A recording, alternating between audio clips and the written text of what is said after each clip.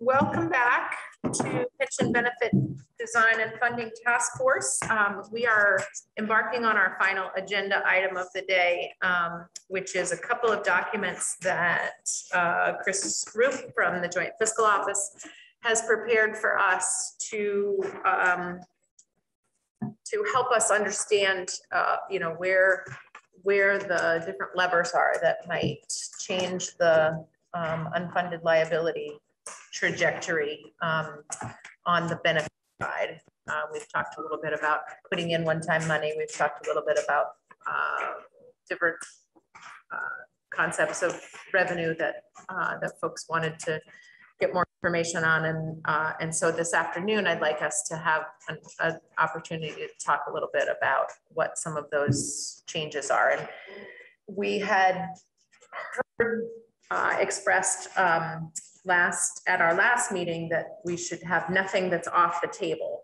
Um, and so I, I, in keeping with that spirit, also responsive to what we talked about earlier today, um, I'm hoping that we'll have a chance to uh, to go through and talk about some of the potential um, levers. And instead of saying something's off the table, maybe we say that would be on the bottom of my list as a last resort.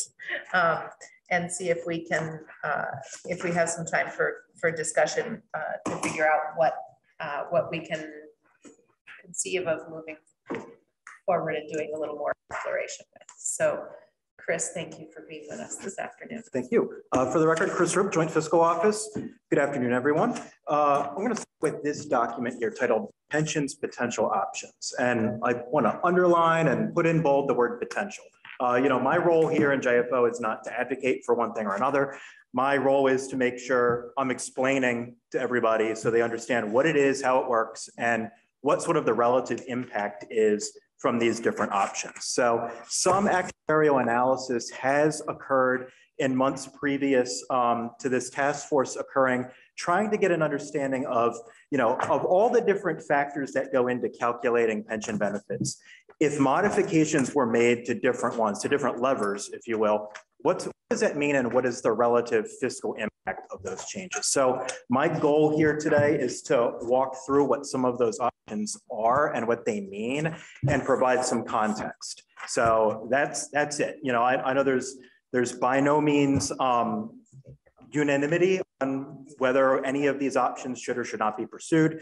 But in order to have an informed conversation, we want to make sure everybody's starting with sort of a common understanding of what these different factors are around benefit design and what sort of moves the needle, if you will, more than others. So let's, I apologize that I made the rookie mistake in my haste to get these done of not putting slide numbers on my pages. So hopefully I can go through this and none of us get lost, but feel free to jump with any questions or, or tell me if I'm saying something that just sounds crazy. Um, second page, strategies to reduce the ADEC pressures in the funded ratio. So just as a refresher for everybody, you know, the unfunded liability is really that gap between the assets and the liabilities between these two lines. I'm not picking on the VSTR system by only putting their chart here. I just wanted to put one in to show an example here of, of what that gap is because I, I tend to be kind of a visual person and I like to, to visualize it that way. So, you know, whenever that gap between the lines gets bigger, you know, that means you need to pay more in the ADEC in order to close that gap. And in the conventional pension model, the ADEC payments fall on the employer because employee contributions fund the normal cost. And the unfunded liability payment is included in the employer's ADEC. So in order to reduce that unfunded liability, you, you, know, you need to take some steps to kind of make these lines move closer together. You can either push the liability curve down a little bit or push the asset line up a little bit when all else is equal. Moving on to the third slide. So let's talk first on strategies to reduce the liabilities. And again, these are things that would have the effect of pushing the steepness of that liability curve down a little bit. So both, yes, sir. Sorry, can I just ask a question? I just want to make sure my understanding is correct if the ADEC was funded 100%, whatever the payments would be from now until 2038, those two points would meet together in 2038 by the end of the amortization schedule? Theoretically, yes. when, when all assumptions are met, yes. Yeah. yeah. But when you get to 100% funded, those lines should be tracking right next to each other. Okay, just want to make sure. Other questions I want to make sure that we pause and go slowly that so that folks can ask for clarifications. Great. So let's start off with, um, on the liability slide, as I mentioned, you know, both the ADEC and the normal cost can be lowered if changes are made to the plan design that essentially lower the cost of future benefits. And that effect, you know, that has the practical effect of slightly flattening the steepness of that accrued liability line. And when you do that, obviously the gap between the assets and liabilities shrinks. The unfunded liability shrinks a little bit. So as that unfunded liability gets smaller, so too do the ADEC payments because there's less of a hole to fill and, and therefore the annual payments go down. As long as the pension system is open to new participants, both those lines will likely have an upward slope because they're going to grow with the normal cost every year. You know, every, the, the, normal cost represents an annual growth in the liability, but you should also be funding it. So everything's moving in the same direction at the same uh, pace. But the goal in order to improve the funded ratio over time and get those systems up to 100% funded is to move those two asset and liability lines a little bit closer together.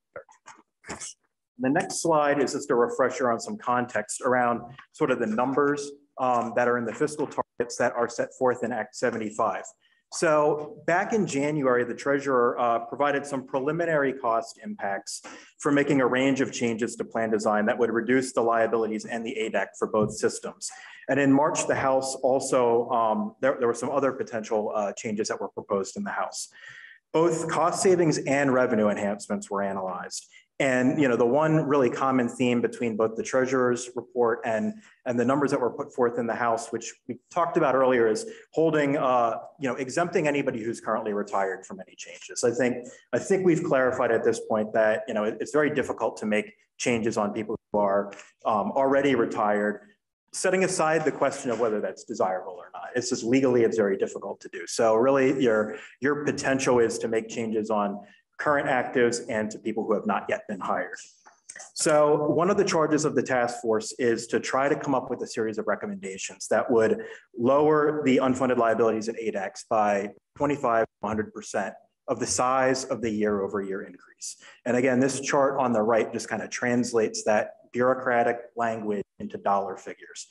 So how do we do that? Well, the next few slides will show some options that um, of ways to potentially change plan design. And after I sort of describe what they are, we'll then pivot to the other slide deck to go to some numbers and kind of show some preliminary uh, cost impacts based on the actuarial work that already happened.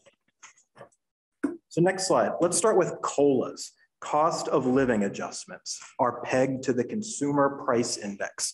The CPI is a measure that the federal uh, Department of Labor does um, on a very regular basis that basically tracks the price of a basket of consumer goods. And the reason why this is a valuable data set is it helps track uh, price inflation and, and help measure the value of a dollar to the average consumer. So if the price of goods that we all typically buy goes up or down, all of those inputs are factored into the CPI.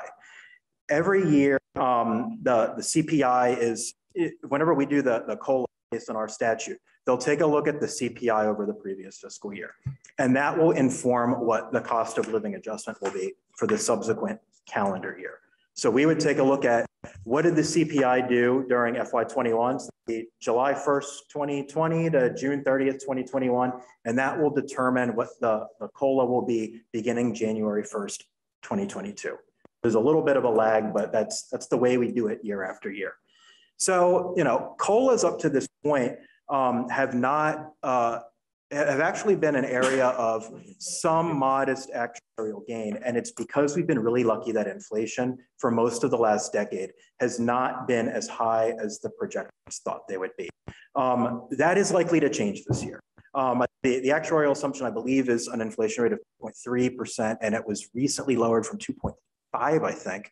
And uh, the CPI for this uh, for this current for, for the fiscal year that just ended, it's going to be higher than that. Um, you know, I'm sure you've all seen in the news that um, you know as as the economy has kind of sputtered back to life after COVID, there's been a lot of supply chain issues, a lot of sort of labor market sorting that has led to some price increases. You know, things are sputtering as we get back to normal. And as a result, you know, the supply and demand curves aren't quite you know, in sync with where they should be.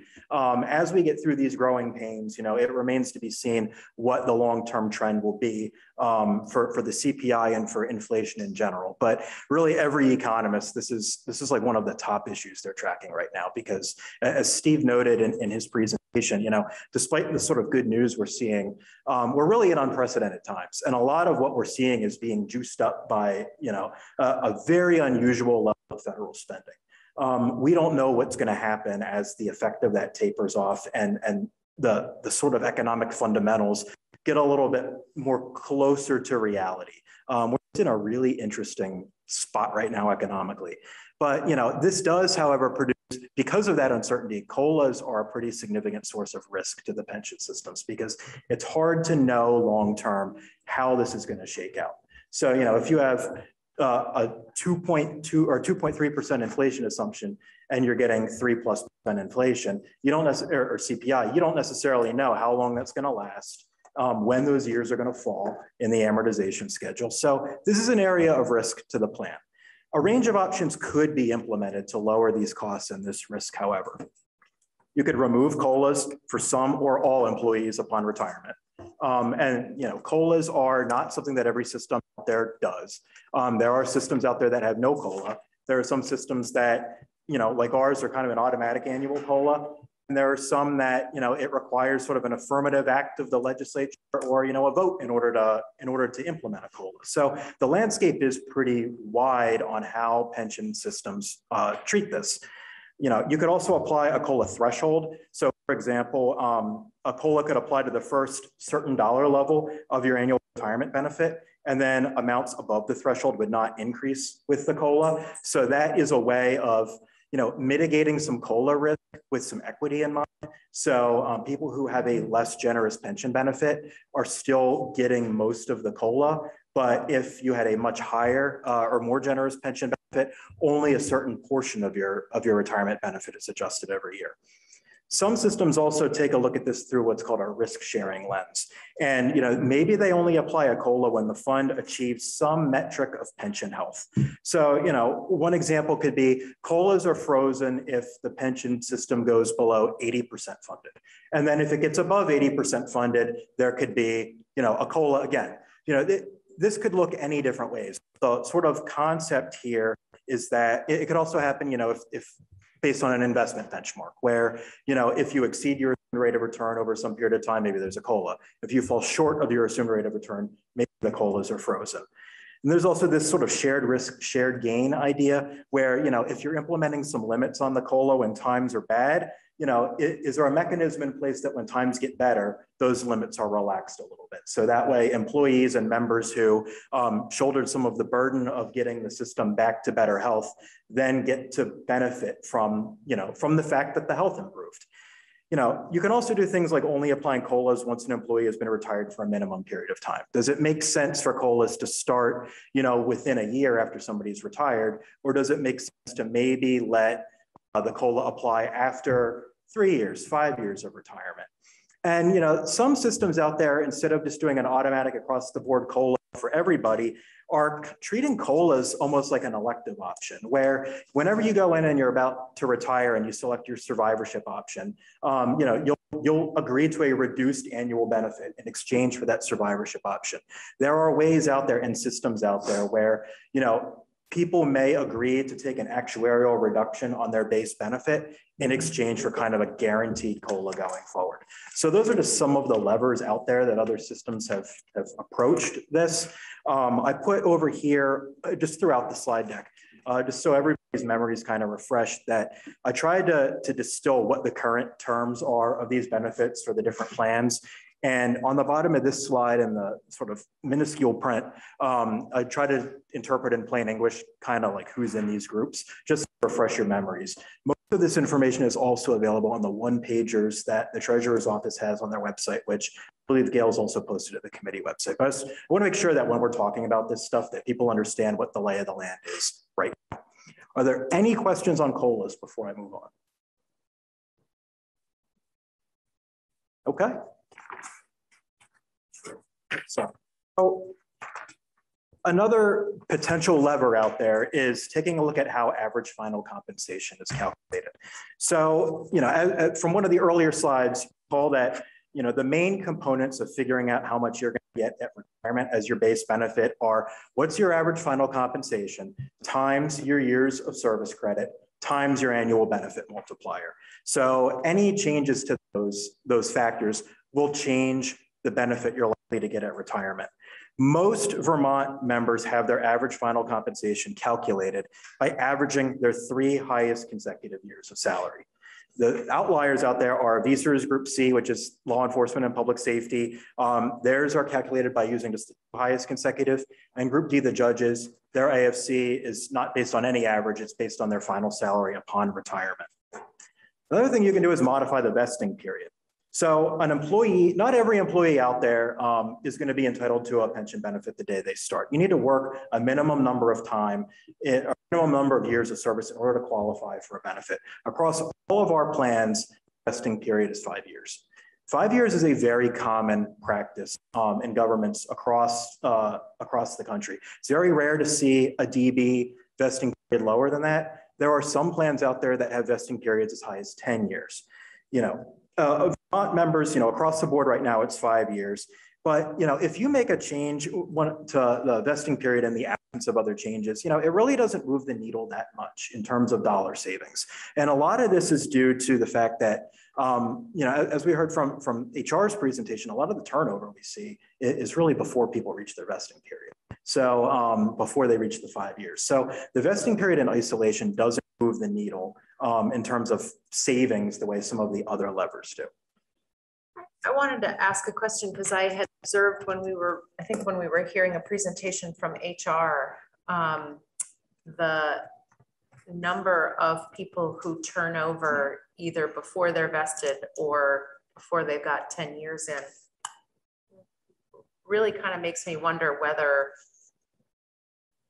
whether those whether the pension benefit was actually a, a factor in with in, in those people coming to work yeah. for the state or or to become a teacher. Yeah, no, th that's a really good question, and you know, I think I think an important consideration for the task force throughout this work is, you know, how do we make Vermont an attractive employer for people of more than one career trajectory? Um, you know, there are some industries out there where um, you know, you're likely to have much more longevity than in others.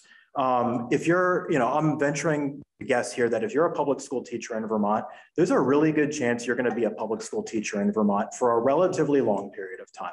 You might move from school to school, you know, you might change your employer, but like that, that's your profession and you're kind of in the system here you know, there is a range of people with career horizons in state government. You know, not everybody is on the um, I'm going to accrue 25 years of service time horizon. Um, whenever you have uh, non-classified employees, for example, people that come and go with administration, senior staff, you know, it's not uncommon for people to be here for less than five years. So is there is there a way to create a retirement package that's attractive to people who might have more portable or, you know, career horizons or, or sort of that mindset that may not be as focused on staying with the same employer for their whole career. But maybe they're going to work here for a little bit. Maybe they're going to transition to the private sector. You know maybe they're going to they're going to bounce around. You know the workforce is so diverse in, in systems that you know I, I do think it's a fair question whether having a one size fits all benefit is attractive to everybody or whether more than one option should be made available you know it's a question that i think this group will have to wrestle with throughout this process I want to do a little pushback. Please, please. On you, I, am going to push back on your comments there because I think that um, the attrition in those first five years could just as likely point to the difficulty of the work, which leads to an opposite conclusion. It leads to the conclusion that we need to um, make the job an attractive one so that we can retain teachers. Um, it could, you know, could be either, but that's my pushback off it. I, I also think there's there's subtle distinction between what, what is most effective at recruiting somebody and what's most effective at retaining somebody. There's, there's a subtle distinction between what, what is most powerful for recruiting somebody versus retaining somebody. Sir? Chris, um, on the, uh, on the, uh, off to the right on the slide, um, could you define what is anything other than service actually performed with regard to these, these are group C one and C two. And what I'm trying to understand here is how many of these groups um, have the ability to roll unused uh, annual leave or unused sick time. It doesn't, doesn't talk about unused time into their final year of salary to plus up salary that just plus Sure. So yeah, un- unused leave time would be sort of the an example that I think of as sort of what would be excluded when you say excluding um, uh, time for, for services other than actually performed. I believe group C, um, there's an allowance for um, a certain percentage of unused leave time to be counted in the AFC calculation. What And- about, what about sick time? Sick time, I don't believe so. But I would have to double check the statute. uh, going back to the question about the importance of benefits um, to people at the state level and, and education, I would say definitely, you know, it's my thought that the longer you're in education, the greater um, that importance of the pension and the benefits that are there. You know, if you have 17, 18 years left to go, the pension is really critical. You know, as a 21 year old, um, you're still learning a lot about the world. You're hearing about the pensions, your comprehension maybe isn't there but pensions for retention are huge, I feel. Um, you know, it really puts people in a difficult between choosing a, to stay in a profession they love um, versus recognizing, you know what, I can't afford to sacrifice my financial stability um, later on in life as my benefits get cut. So I, I would say that pension benefits are huge, um, especially with retention. Any questions on this slide before we move on? So other potential option, another tool in the toolbox, if you will, is making changes to the normal retirement eligibility. And just as a refresher, uh, you know, normal retirement, uh, I'm throwing that around to mean, you know, retire with unreduced, actual, no unreduced benefits. You know, it's, it's your full pension, um, full retirement. You know, in order to qualify under our systems, you need to reach a minimum age or a combination of age and years of service, whichever comes first. So Vermont has a rule of 87 for some VSERS members and a rule of 90 for some teacher members. And the, the effect of those rules is that an employee with 30 plus years of service can retire earlier than age 57 in the state system or earlier than age 60 in the teacher system. Some pension plans nationwide, though, require all actives to reach a minimum age with no rule. Uh, you know, the rule really does advantage employees who began their service earlier in their careers, but can result in higher pension OPEB costs. Just because if you if you retire at an earlier age and you have more time in retirement, you know, there's that's that's more benefits that are that you're going to be paid. Um, so so there's a range out there of how how different systems treat this, but um, the, right now that's, that's the system we have. Um, there are a couple exceptions. Uh, group C on on the state employee side, that's the law enforcement and public safety group. They can retire early without penalty, or in, in, other words, no unreduced benefit at age 50 with 20 years of service, with mandatory retirement at age 55. Certain uh, Group F correction staff may also retire at 55 with 20 years of service without reduction.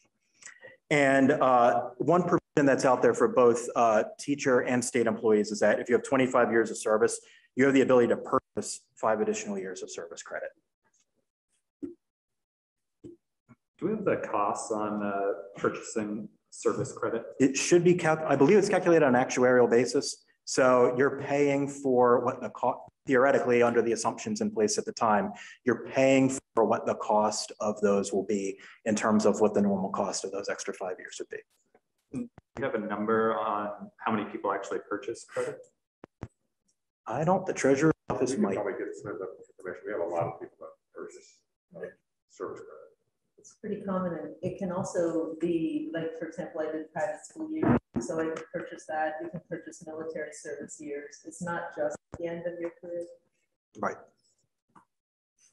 And those are pretty common provisions that you find in a lot of big state plans is the ability to purchase some service credit for other public service that you've worked elsewhere if you didn't qualify for a pension benefit there. But again, it's, it's the onus is on the employee to, to purchase the actuarial value of that time. And like you said, the cost goes up significantly. So, you know, back in two thousand three, when I left, it was ninety-two hundred a year, it's Yep. significantly more now. Yep. And that, that's because the normal cost has grown. And they, and they can't, there's less time till I retire to, mm-hmm. you know, reap the rewards of my money.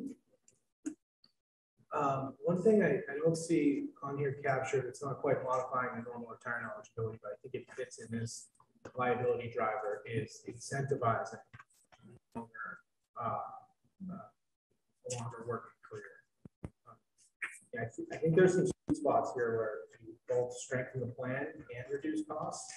Um, That, um, that's, that is, you know, those are the kinds of options that I think you should put at the top of the list, you know, you're saying bottom and top. The ones that kind of hit that sweet spot of both saving money and making a stronger plan. Um, but I don't know if it fits in this. Hold that thought for the next slide. Oh, okay, I tried, I tried to look ahead to see if it was. captured. Okay, I will, I will hold. Thank you.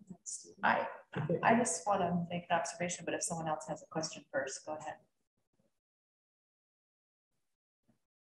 Um, something that you said a moment ago about how, how we assess what it costs to buy years um, made me worry that because we have missed many of our assumptions over the last decade, have we also missed the uh, putting the right price tag on what it costs someone to, to, to buy years? I think that's a very fair question. And, and, you know, again, the calculations are based on what, what you know and what you assume at the time. Um, and, and what we know and assume has changed. And, it's changed in the direction of adding cost um, to the pension system, not reducing those costs.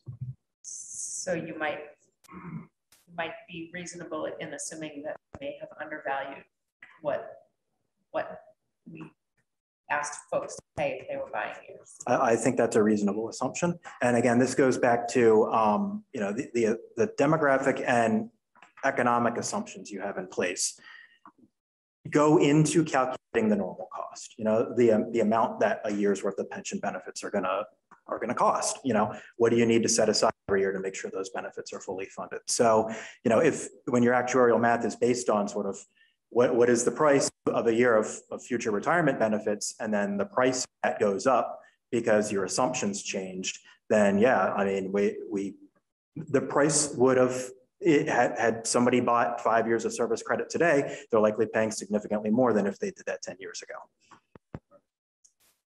And just to close the loop on this pondering, who makes the determination of what the cost to buy years is? I think the actuaries and working with the treasurers. The actuary comes up with factors that are applied in each given situation. And Each time their assumption changes, we change, they come up with new, new purchase factors also. as given system. So, uh, And are they based on the demographic and experience assumptions that were approved by the board? of the most recent valuation, yeah.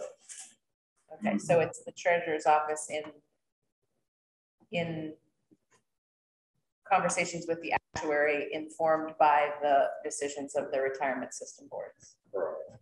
But the actuary comes up with the factors that are used in the calculations to come up with the cost of the individual employees. is completely different based on the years of service that they have, what their current salary is, and what the projected AFC is going to be based on the current salary, uh, multiple factors that get calculated. Thank you. Any other questions before the next slide? All right. So another option or tool in the toolbox is, you know, taking a look at modifying the benefit calculation itself. You know, as I mentioned, your, your base retirement benefit is based on multiplying your years of service and your average final compensation by a service credit multiplier. Our systems here also set forth a maximum benefit level as a percentage of AFC. What, you know, col- COLAs are on top of that. That's a post-retirement adjustment. So this is, this dictates your base benefit. Both the service credit multiplier and the AFC cap, and this goes to, to Eric's point, can be adjusted to encourage desired behavior. There's potential to do that. So for example, um, increasing the maximum AFC cap may encourage employees to work longer than they otherwise would, which in turn may lower your pension and OPEB costs. Same with, you know, adjusting the service credit multiplier upward or downward will adjust the relative generosity of the retirement benefit when all else is equal. But you really need to do some actuarial analysis to make sure you have a good understanding of what the savings would be. Because for every additional year somebody works, they may also be earning a higher salary. So that could adjust their AFC upward and, and you know, you might save on one side, but the cost kind of increases on the other. Over here on the right in this table, I wanted to show you what all the benefit multipliers and caps are and kind of translate this into like, what does this really mean? So a Group C member, um, a law enforcement public safety member, hits their cap after 20 years of service. So 20 times two and a half percent equals you're going to be entitled to 50% of, of your AFC. So any additional year you work beyond the 20 years of service, you know, your, your benefit will go up based on your salary history going up. It's not going to go up necessarily based on the fact that you worked an extra year. So you can see what that looks like for all the other groups here too. And, you know, in the VSERS new group F, um, you know, there's 60% of AFC cap and a 1.67% multiplier. So you roughly hit your cap after 30 years of service. The, I, th I Hey, think, Chris, can I just uh, uh, put a a point on that? And I think Harold mentioned this when, when Department of Human Resources spoke, but you hit your cap and then, and the next year you still pay your pension vacation out of your paycheck. yes. You're spending money in, but you're not getting any additional benefit, except your potential salary. Yeah, you're, you're not accruing additional service credits. Right. You are, you're accruing additional salary growth, most likely. Um, though obviously everybody's employment situation is different. You know, that's not necessarily the case, um, depending on where you are, but that's, that's correct. And you are getting paid. I mean, you would rather have your full salary than a fifty percent. Correct. You know, but yeah, right. And, and, you know, one lever that, that could be used to, to sort of get to Eric's point is, you know, if, if you want to encourage somebody to work beyond, you know, just for example, the 36 years in, in new group F, you know, there are possibilities to say, you know, for every year worked beyond 36, your AFC cap could increase by some percentage. You're unlikely to see real savings though if that increase by some percentage is not less than your service credit multiplier. So mm-hmm. Because, and you could also, you could also say, you know, you don't have to contribute anymore. Once you hit that cap, you no longer need to contribute to the, to the pension fund anymore. That you're delaying that person pulling on the pension, but you're not disincentivizing them. Yeah, there, there could be, a- and I, I think what, what HR was referring to is, you know, there, there could be a possibility of kind of freezing somebody's benefit at Right. some level at the same time you're freezing their contributions. And then they could continue to work and not, Right. not pay the contributions, but you're also not, you know, your, your benefit's going to be what it was before, before that occurred. So that, that is, that's a possibility that could be costed out. Well, there was also the savings in the OPEB for that. Right. Which Right. could be significant. That's what, it it seemed to me that was more, where more of the significance was. I think, I think it's both, yeah. It's interesting, there's, there's, seems like there's multiple ways to do this. Um, My first thought was something like you mentioned, Chris, I hadn't thought of what Harold proposed, which was to stop contributions, but there could be something like that where you kind of phase out the contributions, uh, rather than paying it, you know, 0.65 percent year one, you know, you pay one percent less until it goes to zero. So it's con- continue incentivizing that behavior. Um, but just, it's, it's interesting, it'll be interesting to discuss the options that, that, that are available. Yeah, and I think it's also worth thinking about, you know, if this is the direction you want to go, what, what amount is sufficient to be a true incentive to change behavior? You know, is, is 1% savings in your pay likely going to be sufficient to really change your retirement plans? Or, or does, does the lever need to be a little bit larger? Okay. Any other questions on that slide? All right. So we talked about liabilities. And again, these are just some of the options. uh, When you, when you take a look at all the factors that go into calculating what the benefits are going to be now, these prior slides really focused on taking a look at each one of those little levers and seeing how they work and what effect different changes would have. Now let's take a look at the other line, the asset line on the graph. Here are some things that you can do to boost the assets to try to make those come a little closer together. So obviously, a constant focus on your investment managers and investment policies is kind of a no-brainer. You know, you want to make sure that you're being as efficient as you can managing the money at minimal expense and at minimal risk and volatility. You know, that's what VPIC's job is, is to really make sure that, you know, the money is being invested prudently and, and, you know, in accordance with fiduciary duties. And, you know, it, it's always important and it should be a given everywhere that, that it should always be top of mind to try to make sure you're maximizing your investment opportunities. And I, I think you've heard some testimony from the chair of VPIC about some of the steps they've taken in recent years to move to more, for example, um, passive managers out of active managers, which tend to be more expensive and don't necessarily overperform for the price premium you're getting. So those are types, the types of strategies that VPIC has followed and a lot of other uh, systems out there have moved to in recent years. Should always keep your eye on that ball. That's a no brainer. I mean, that's, it's, you know, it, it's obvious. And, you know, it's one of those things, one of the most frequent questions I get when talking about pensions is my portfolio did X percent last year. How come the pension fund didn't? And, you know, I, I just, I want to take this opportunity just to remind everybody that we invest differently than the pension system does. Um, most of us around this table likely have a greater appetite for risk and volatility than the pension system does, especially if you're like me and you're 34 and you've got a really long time horizon to ride it out and ride the highs and the lows of the market. You know, the pension systems, especially a more mature system like ours that's paying out more and more in benefits every year, they need to also protect their principal. You know, the, the systems cannot afford to lose 10% or 15% of their assets in a market downturn.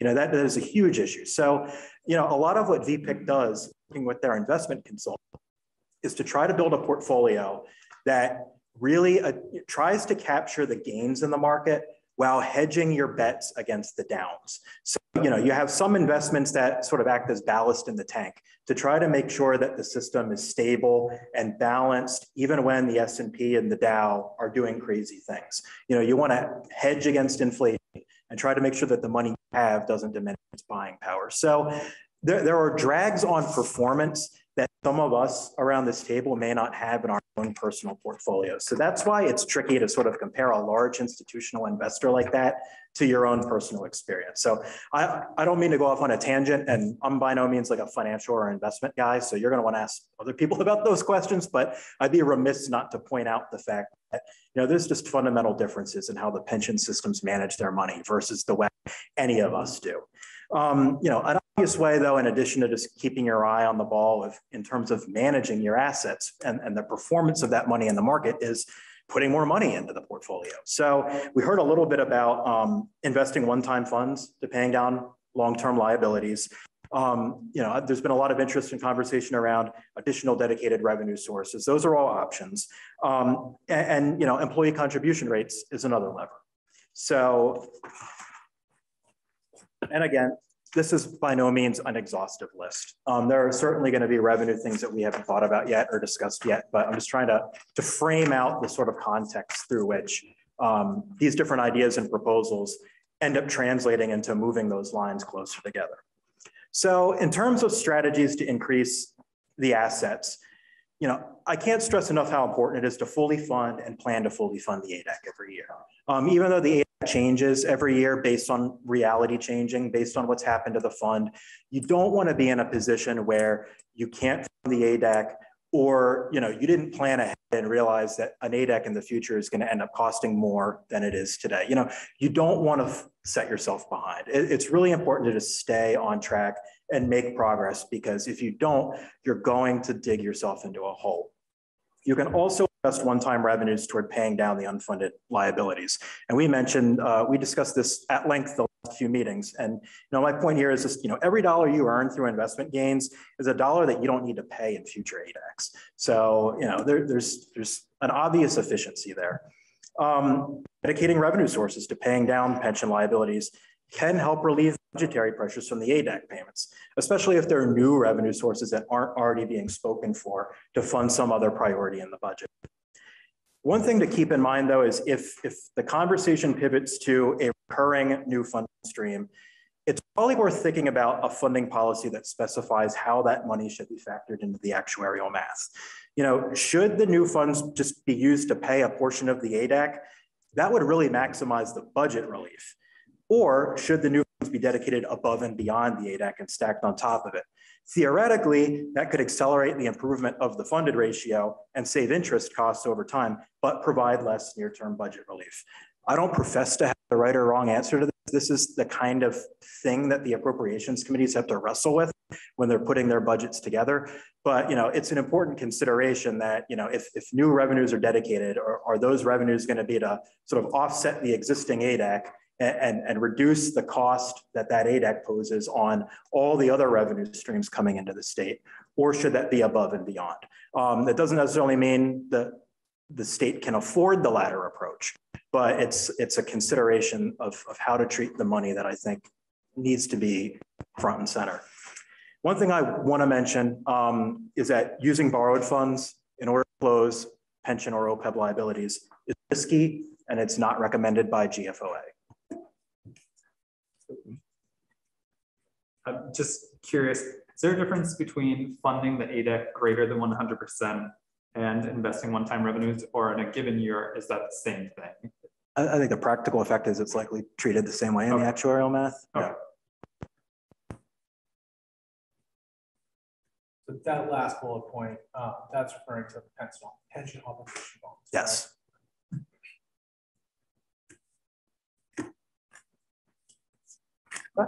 Questions, observations?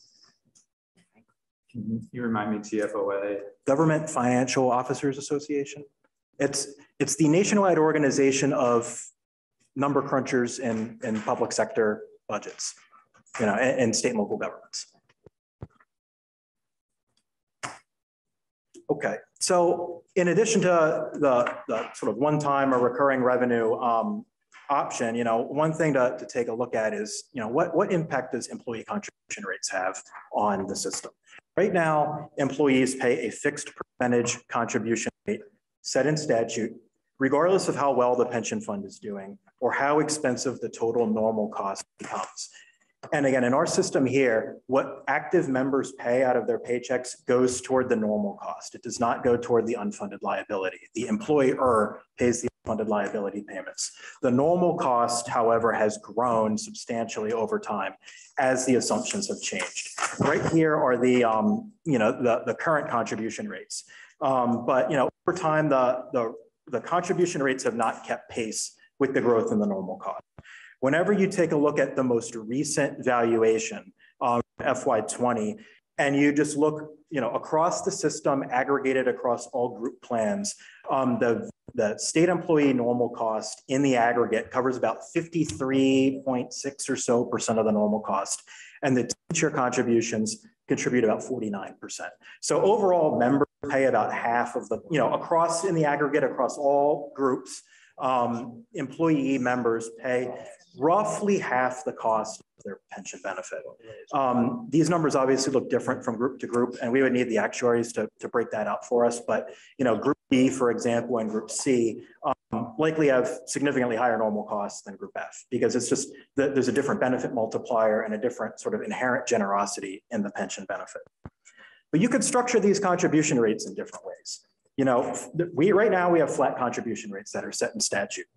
You can also have sort of tiered progressive rates, like our income taxes, where the more you earn, the more you pay. There's a little bit of equity in that feature. You can also have systems out there where they have variable rates instead of just fixed rates. So my, the system I came from in Philadelphia is a variable contribution rate pegged to a percentage of the normal cost.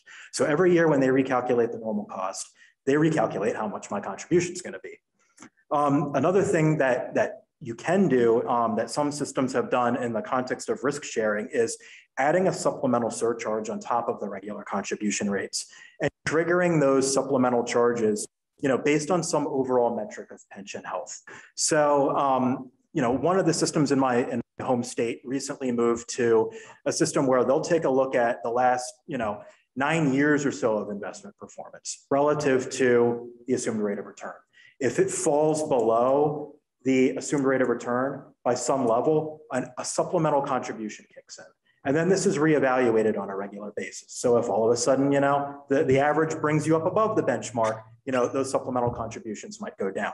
You could also, you know, tie it to uh, achieving a certain funded ratio where, where members may pay an extra few percent until the fund reaches 80% funded or some metric like that. There's, there's just a range of, of options how employee contributions can be structured. Um, it's important to note, though, that the employee contributions in isolation are not going to lower your total accrued pension liability. The real impact that this has is lowering the ADEC payment. Because if employee contributions are higher, when all else is equal, they will pay for a greater share of the normal cost that would otherwise fall to the employer to pay through the ADEC. Now, it's relatively easy to get a back of the envelope calculation on, you know, if we if everybody's contribution rates went up by 1% across the board, what would that roughly translate to? And you can do that by just kind of modeling based on what the overall covered payroll is going to look like. So you can get pretty close by taking a look here on the right that, you know, in, in the FY20 evaluations, the systems were assuming that um, in the current fiscal year, the covered payroll would be just shy of $600 million for, for all covered state employees and just shy of $700 million for all covered teachers. So, you know, a rough back of the envelope calculation is if everybody across the board paid an extra 1%, you know, you have roughly $6 million of additional revenue coming into the, the VSER system, roughly 7 million coming into the teacher system. And that would obviously increase as payroll increases every year. Um, across all plans right now, the assumptions are payroll would increase by three and a half percent a year on the state side, 3% a year on the teacher side. I was just wondering here if um, there's an opportunity to think about the fund policy here, like in new revenue. Um, and what I'm thinking is if employees paid a greater percentage of the normal cost, um, rather than reducing the amount that the contributed uh, a portion of that would go to the directly to the liability. You know, so uh, it doesn't change the states, so it wouldn't have the budgetary impact, but it would have an accrued liability. Yeah, I, I think that that is a potential path forward. Um, but you know, obviously, the the feasibility of implementing that, you know, I, I think in large part depends on you know what what can we do to manage the budgetary impact.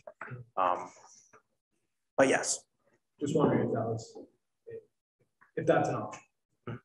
Thank you. Chris, uh, it, would, it kind of happened fast, but I thought I heard you say something about right now the employee pays roughly half the cost. Can you say that statement again? Sure. So right now, employee contributions cover roughly half of the normal cost in the aggregate across all groups. So um, based on the preliminary contribution requirement calculation in the FY20 evaluations. The total normal cost for all teacher members across all groups is about 11.02%. Um, on the state side, it's about 12.67%. So employee contributions, um, you know, cover cover just over half on the state side. I think across all plans, they bring in about six point. They were projected to bring in about 6.7 or 6.8 percent of payroll, and on the state side, it was uh, around five percent.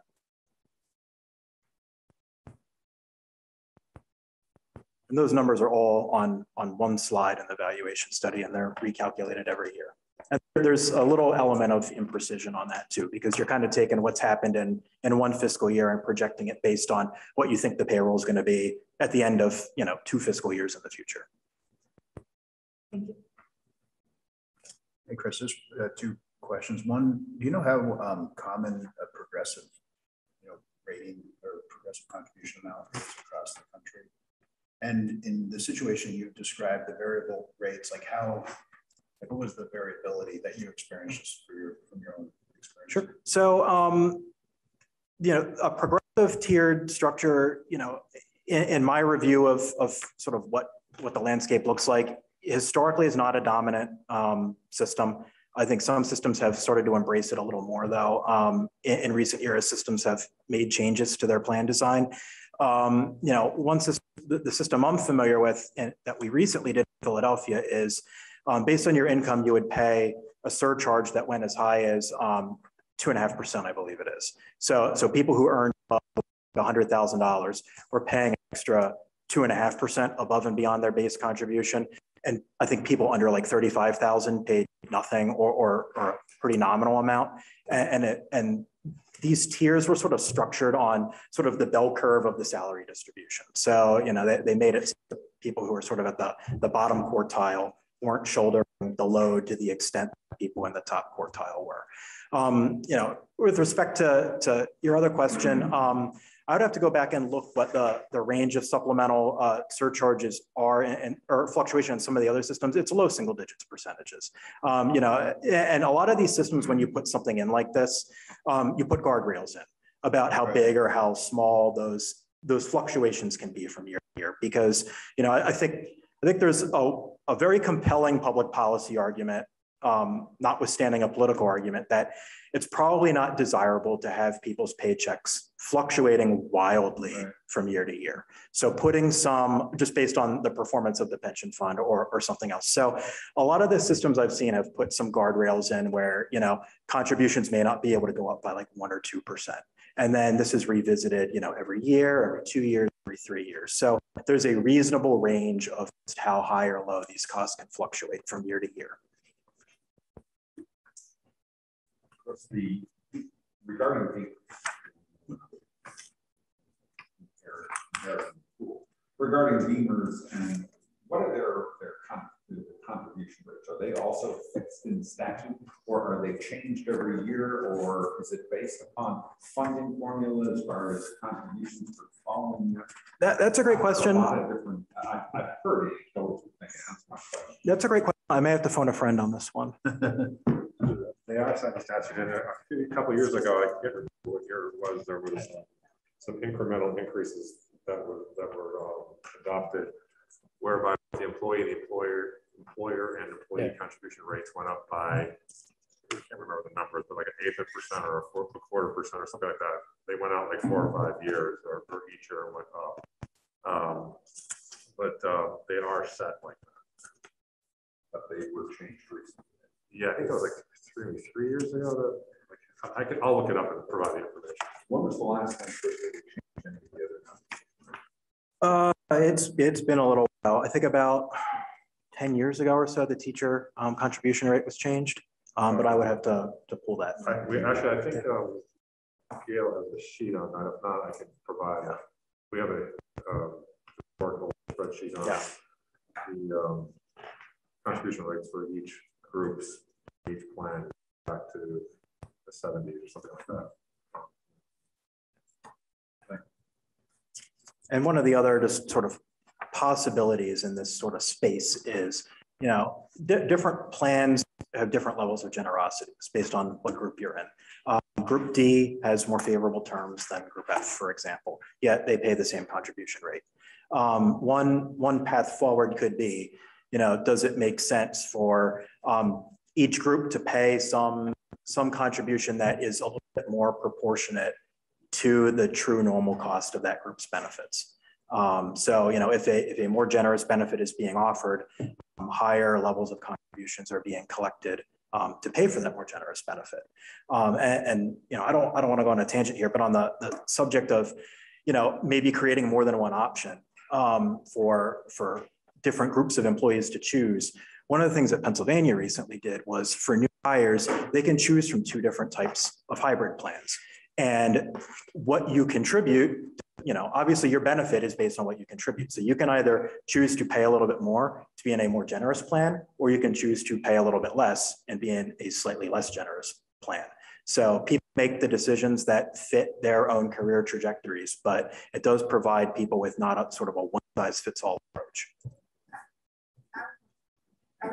Concerned about that, that, that second statement that you made about the people who would be choosing to pay a little bit less, that that had to do with long-term plans. I would think that there might, there very likely is that their current situation at home would, might require them or necessitate that they pay a little bit less and get a less. And so The differential in the overall rate is small. I think it's 1% or less. Um, the real, the real sort of difference is that in one option, you're paying a little bit more toward defined benefit and a little less to a defined contribution component. And in the other one, you're, you're doing the opposite. You're paying a little bit more toward your defined contribution component and a little less to the DB. So therefore the DB benefit is calculated on a lower multiplier. But overall, the contribution rate is, it's, it's, it's within one percentage, depending on the plans. How it's split is different.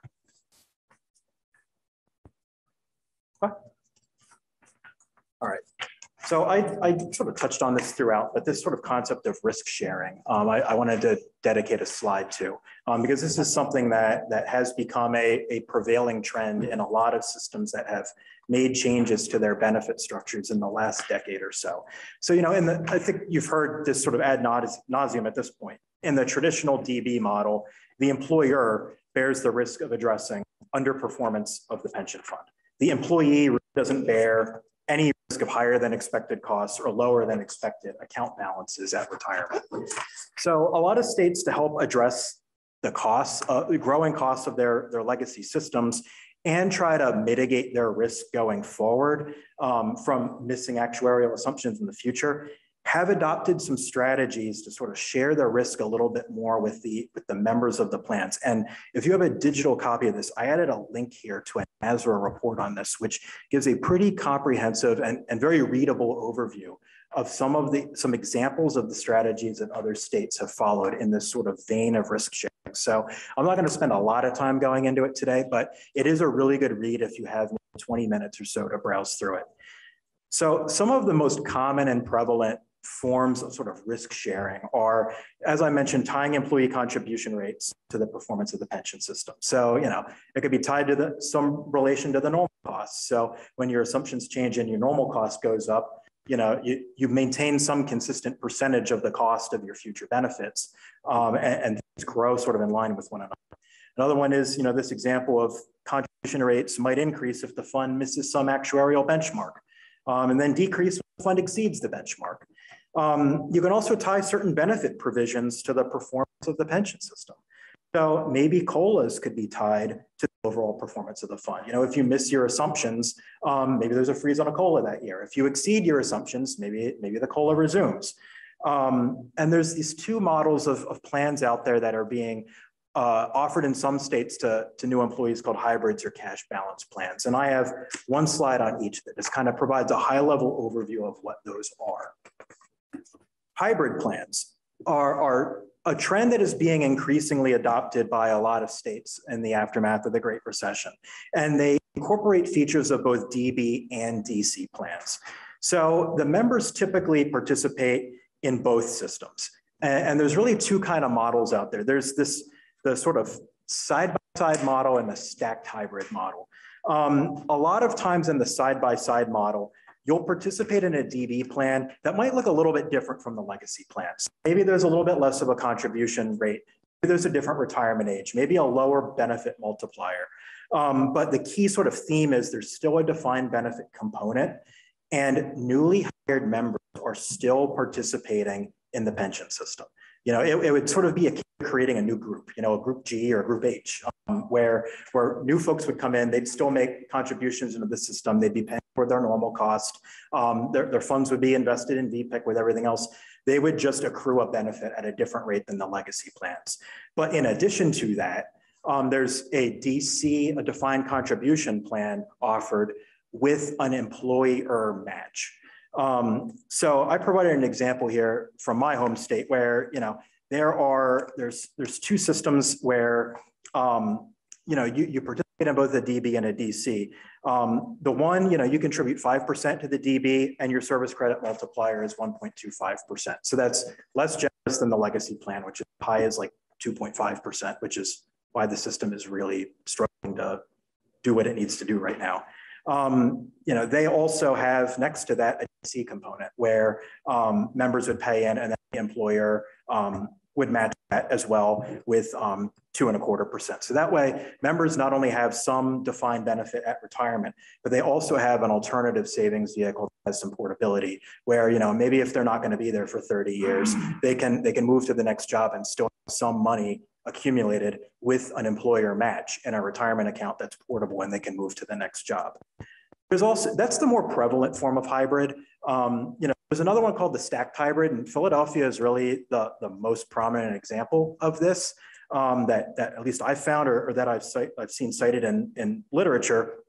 That it works a little different. Instead of everybody having sort of two sides of the same coin and you participate in both, it, it's the way the stacked hybrid works is the DB is available to everybody up to a certain income level. And then the DC plan is available to people who earn above that. So that line, that income line in Philadelphia was set at $65,000. And that was a level that was relatively close to the median salary of our average payroll.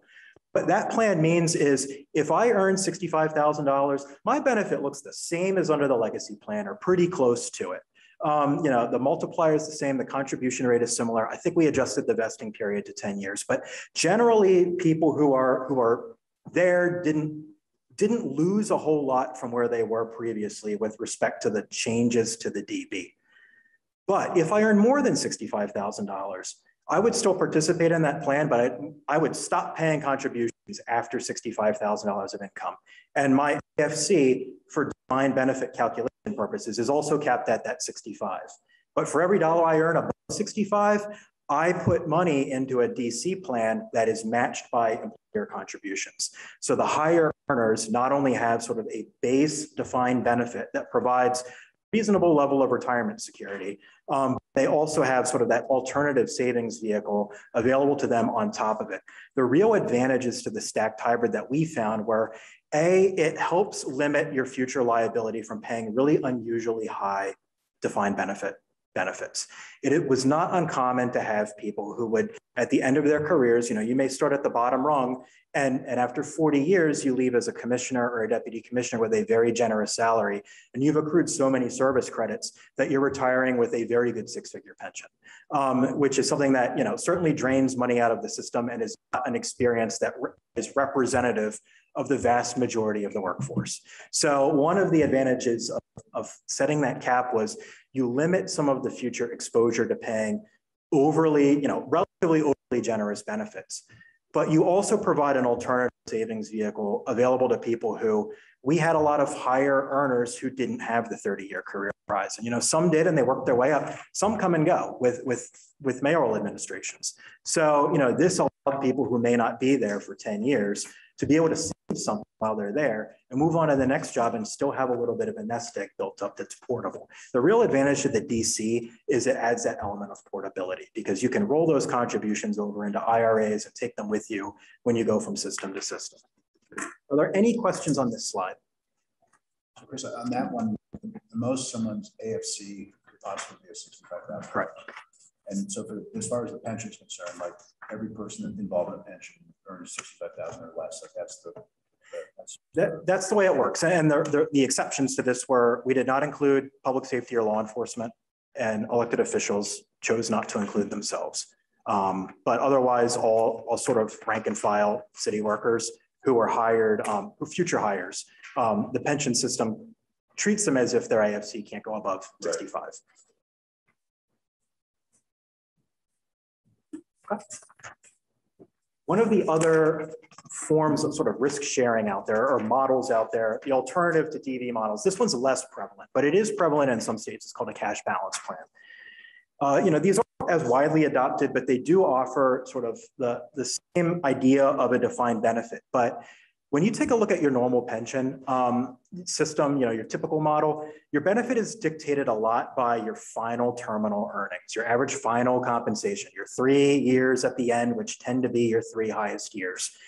Um, in a cash balance plan, the, the, the benefit you get at retirement is based a little bit more on your career average of earnings. So if you're in a cash balance plan, every year you work, the employer puts a credit as a percentage of pay into your hypothetical account. You know, it's not like a decent, it's not a defined contribution where you've got dollars sitting in the bank mm-hmm. invested in some Vanguard fund. This is a hypothetical account where you accrue credits. So every year, the employer will give you credits as a percentage of pay and a defined interest credit.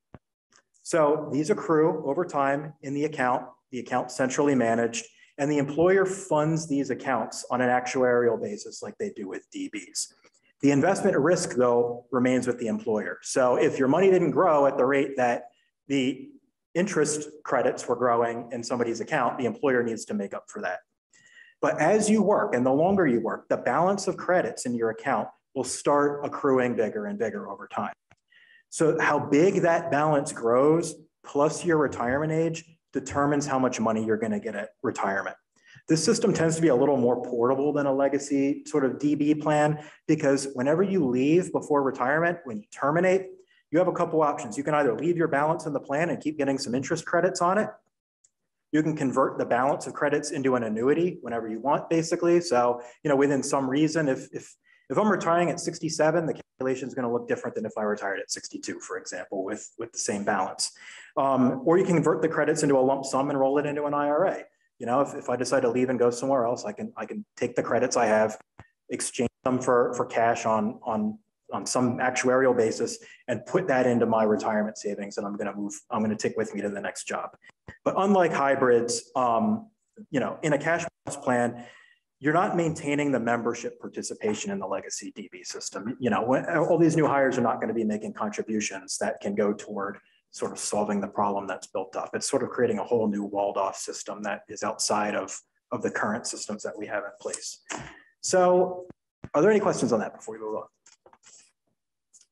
So when I look at cash a plan potentially gets been done so through the IRS and then the employees have been given their cash balance uh, based upon the appropriate formula and they then take it to their IRA or they roll it. Said, and I've actually seen that occur, doesn't necessarily mean all the time. I did. Is that, is that accurate? I think so. it sounds accurate. the options that they go to are the same as what you just yeah. what you have here. So yeah, I mean, it wasn't called a cash balance plan because right. that hadn't been intended. Right. And, and, you know, I think a key distinction here sort of between the, the cash balance in your normal sort of legacy plan is, is, you know, the, the sort of the determining factor isn't how long you've worked and what you, what your final salary was. It was, you know, in addition, you know, how much did you earn throughout your career there? You know, how big did your balance grow and, and over time, how many credits did you accrue in your account? And then, you know, how many years do you reasonably expect to be retired for? Um, those will determine, you know, what your annuity payout will be. Okay. So we're almost finished with this. Uh, one thing to, to keep in mind throughout this conversation around options and levers is, you know, the universe of impacted members um, impacted by any change. as we mentioned, it's really hard to make changes to, to people who are already retired.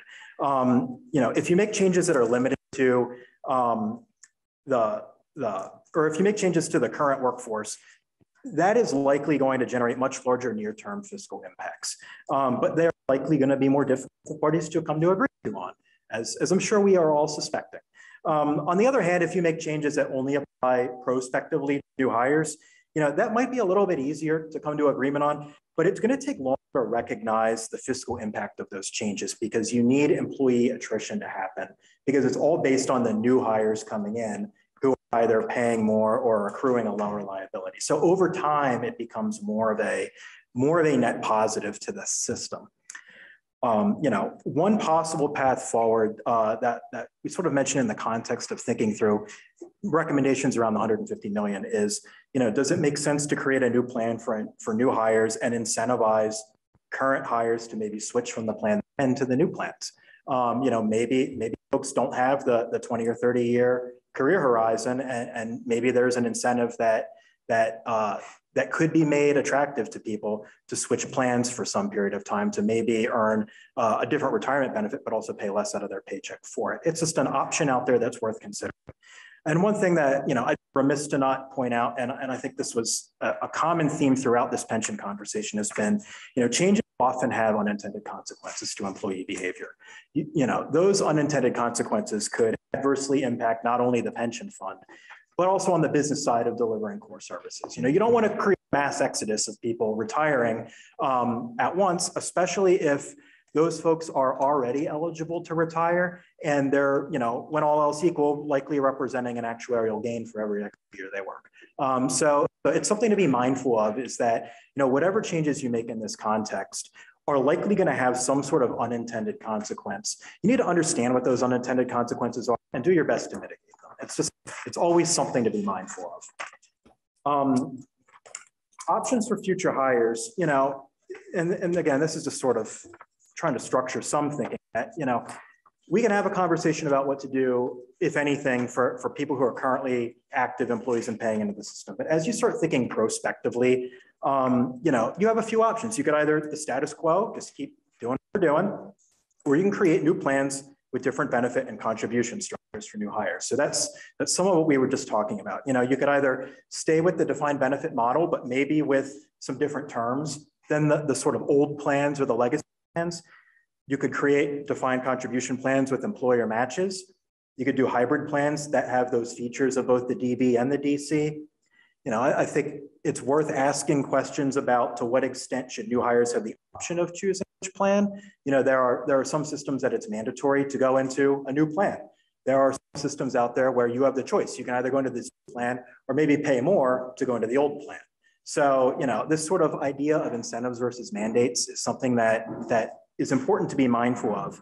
And in a similar vein, you know, should there be steps taken to encourage people who are already in the system um, to maybe switch to another plan, um, just based on their own personal financial interest and career horizon with, with the employer? Um, these are all questions that are worth thinking through and evaluating in the context of making any changes going forward.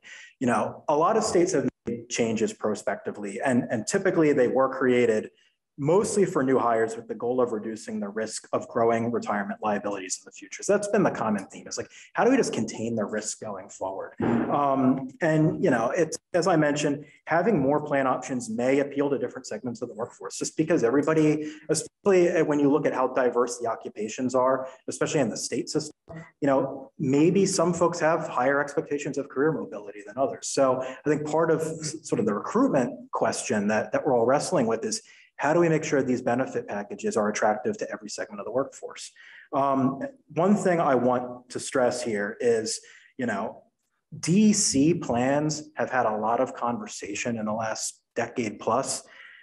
Moving all new hires to a DC plan will do nothing to address the current structural issues facing the pension plans or liabilities that have already accrued. Because if you move everybody to a DC plan, you're going to have people in another system are not contributing um, from the active payroll toward these legacy plans. So there may be compelling reasons to implement a DC option for people, but um, the one thing I want to make clear is that doing that is not going to fundamentally solve the math challenge we're all wrestling with. Um, and even though there's been a lot of conversation around DCs and more states have adopted them as sort of options in their menu of, of retirement benefits, very few states or large governments have abandoned the DB model entirely. The DB still remains sort of the gold standard and the most prevalent model of providing retirement security among state and large city governments. The DB model has just looked a little different over time. So if you have any extra time on, uh, in, your, in your ample spare time um, and you want to read a little bit more on what some other states have done on these issues, I added four links here that go to some materials that NAS together, which are actually very easy to read and, and they're pretty informative about just what some of these strategies have looked like in other states and, and, and what folks across the country have done, especially since the recession when modifying their retirement structures. And it can be a really helpful sort of guidepost to look and see what all's been adopted. And it might be a good homework assignment for all of us to take a peek at these, given that we're going to have a presentation from NASRA um, in a couple weeks. Um, so Chris, not to second guess this very complete list, and my head is really still spinning, and I've heard all of these things before. Um, are there any folks around the table who can think of other potential adjustments that should be considered or should be included in this uh, in this list of options? I don't know if this is other, but I think at one point I uh, put out the idea of potentially giving people the option to pay more in um, or exchange of service credits down the road. Um, I don't know where that fits in here, um, but thinking that if people pay in a higher percent of money in their career, that that could translate to being able to retire earlier. more money in the system upfront. It's helpful. I think that that's something that would have to be costed out by Yeah. actuaries. Other ideas, Peter? So a lot of Vermonters do not begin to draw retirement for full social security retirement date. So I would like to see what we can save if we went to a full retirement date by social security. Uh, That might be a good segue to the second slide deck. Can I ask you a clarifying question about that, Peter? Sure, Do you mean working until the full, um, not necessarily or- or deferring? defer, you would defer draw until, Okay. you could retire at age fifty-five, but not Uh-huh. draw until over retirement age for me, sixty-six, six. Okay, just wanted to Six see what years. you meant, yeah. Yeah. I also wanted to add, just, I want to make sure that, um, Michael, your earlier, which I believe that was sort of simulated maybe by Harold's presentation, gets in the record too, about the incentivizing at the top. And, um, to continue working, Mhm. perhaps not paying into the system if the draw, if the numbers aren't increasing. I can imagine as I see the complexity of how these things all fit together, that it's, it's gonna take us a fair amount of time to even to give a request to the actuaries to mm-hmm. ask them to come back and tell us, you know, does this work? Is this helpful and how helpful is it? And so as, eh, and I think that in just in terms of their palatability, I think some of these that are more of a carrot and a stick woven into one might be better, uh, might be more acceptable to folks who are in the workforce than, uh, than, than some of the things that are a little bit more straightforward, you know, a little bit from list A and a little bit from list B. Um, and so I, I want to make sure that we, um, move as quickly as we can, as a group, to start thinking about, well, I'd like to cost out, you know, this, or, So on that note, um, so I was doing a deep dive. And that was one of my precious afternoons, Chris. Um, I'm into all the documents you have on your, I'm just, on all, on the house operations and all of that, because you have, you guys have gone over this before, right? A lot of this information. But, um, I saw just in, um, the Treasurer Pearce's report from January, that she does a lot of, um, there's already been some actuarial, actuarial work on contribution was this, or we did, is there a way, and there are different reports with different, um, estimates and stuff like that. Is there a way we can just grab all of that from the different reports and just have it? Is it what we're going over? I think- That's, I that's another good segue. that's a great segue, but Heck, I, yeah. Um, and, and Chris is, uh, is, um, a treasure to have for us to, to- because he, uh, anticipated that that would be the next set of questions is understanding the extent to which you, you can impact the unfunded liability with these changes. But I also want to make note that it is now eight minutes of four o'clock, and I don't think that we're going to cruise through this with any level of understanding in eight minutes. Um, and uh, Michael passed out a, a s- a sheet of paper here for us that I guess I would like to suggest that we give Michael a, a moment to explain what this is and that we come back to this at the beginning of next meeting. Is that okay? Because the, understanding the relative weights of some of the changes or the impact of some of the changes is really important to informing how we, um, how we plan the first slug of asks of the actuary. So anyway, Commissioner, take it away. Well, thank you very much. So, um, so I was talking with Sarah, you know, during the break and saying, um, you know, I think the, the agenda setting is really important meeting to meeting, but what would be probably most helpful for us at this point is to have a broader sort of perspective as to where we're heading. Um, I, I think Kate even mentioned this a couple of, of meetings ago and, and so how I visualize that or think about that is, okay, so what's the, what's the work product that's upcoming, you know, sort of skipping ahead of the final report for a minute, just to that interim report.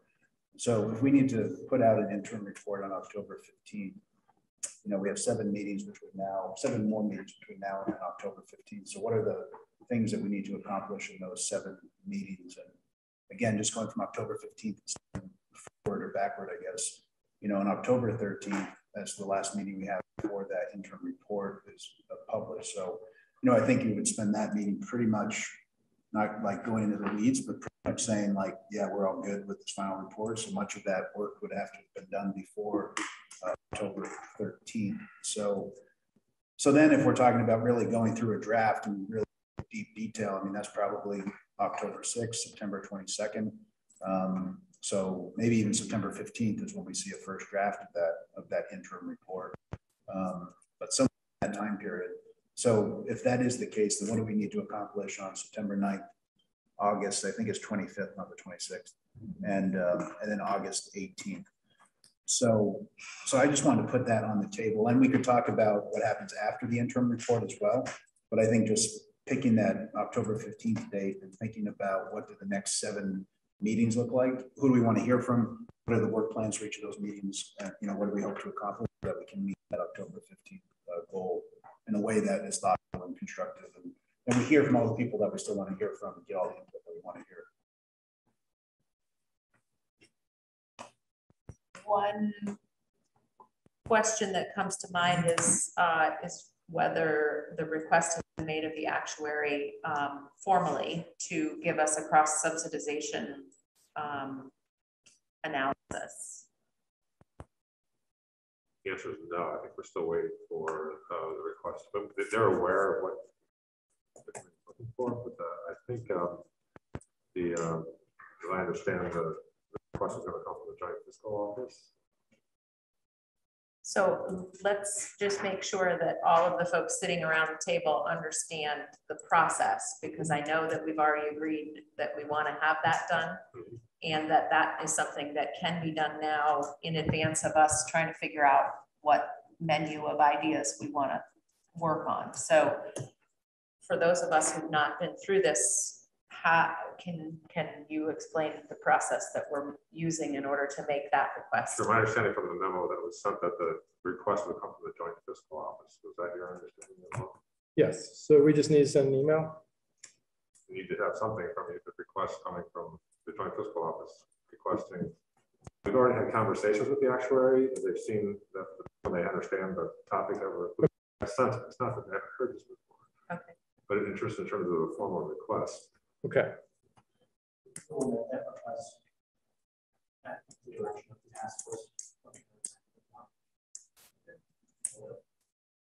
Okay, do task force members want to have a discussion about that right now, or would you defer to us to initiate that analysis of the subsidization between the different groups within the state employee system? I think that's specifically in our charge, so. um, It is. I don't know, you know, whether we need to have too much discussion.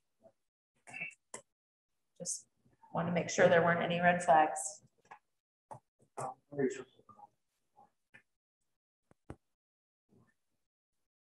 Will is uh, not here this week. Uh, And I'll send it to you. All right, um, so working backward from the interim report date, recognizing that we need to we need to figure out what how we're going to plan out August and September, understanding that those two meetings at the beginning of October will likely be focused around the first and second drafts of an interim report. Um, We also already have a couple things on for those early meetings, like the eighteenth, we're at the second draft, right, of the statement of principles. And then on the twenty-fifth, we're gonna have an national report. And now we have added um, part two of Chris's presentation, um, impacts of various possible changes. Um, We're adding that to the August 18th agenda, which we spoke about back, way back at nine o'clock this morning, which feels like it was a day ago. Yep. Um, I love the idea of mapping all this out, but I wondered if that should take agenda time.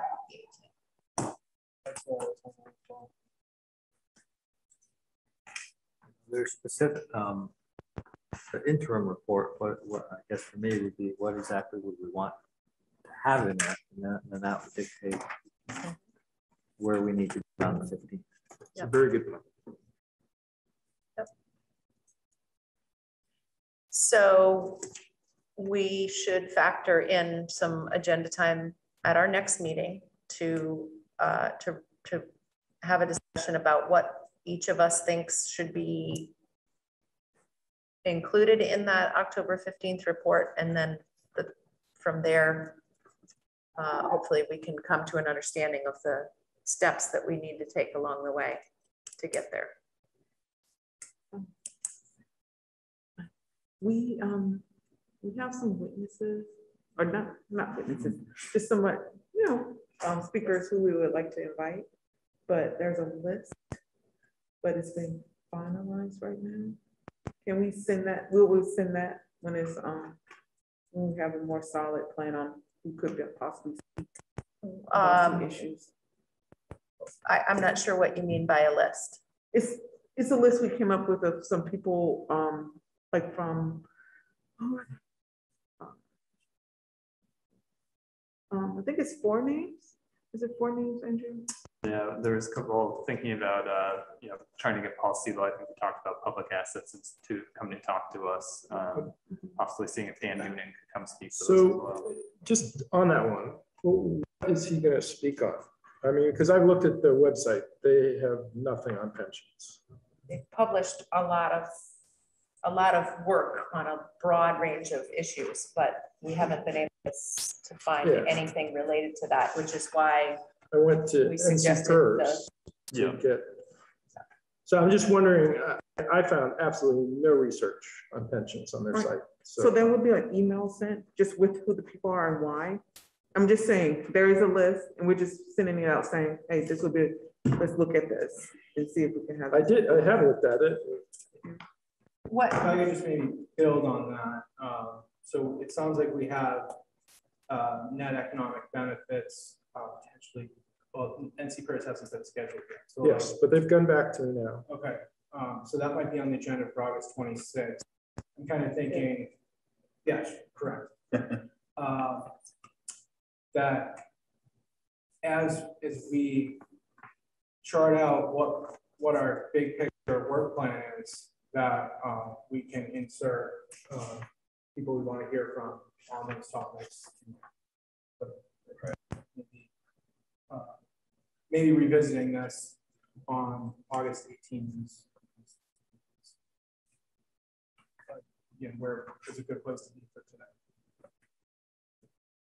A question? I don't know who made this document, but is it possible that whoever made it could turn it into like a, um, a document where we actually start mapping out the different things underneath, maybe, maybe each is a page and then we all have access to it? Could it, could it be something that's shared as a Google Doc, whether we're all editors or not, like, that might be a fiasco, but it would be great for us to just all be able to kind of look at it, have a understanding. I could, I, I just, I typed it up just during the meeting, so, but I could into a Google Doc and share it with everybody. Okay. Uh, I think you're absolutely right. Like, I think ultimately that's what you want to do is sort of, and it's not like it's a concrete thing, like it can't be moved, but you know, if there's a certain person we want to hear from, we should know like, well, time's running short, so we should make that on the 9th, or the 25th, or, and you can sort of build that out and see what, you know, what else we have to get done on that day, you know, to meet those deadlines. Yeah, and no, I really appreciate the backup design. Yeah. so is that August 25th for that date? Not the 25th. It's 25th. I perpetuated the, uh, the um... it's a, a vestige of a previous mistake. So if there are other speakers we need, the sooner we identify them, the easier it will be yep. to get them. So right now, we have NASRA coming in and uh, reached out to NCPERS, who's right. done the economic We hope to get the list out this afternoon or not this afternoon, tomorrow to see if you guys can look at it and what you think of. So you're gonna provide a list of speakers? Yeah. Okay, Good. Okay, so we'll talk about that on the eighteenth. Yeah. All right, thank you. All right. Um, I believe that it is past time and that is all we have time for today. So we will, um, we will see you all on the 18th. Michael Chernick, thank you so much for being with us today to take notes. Thank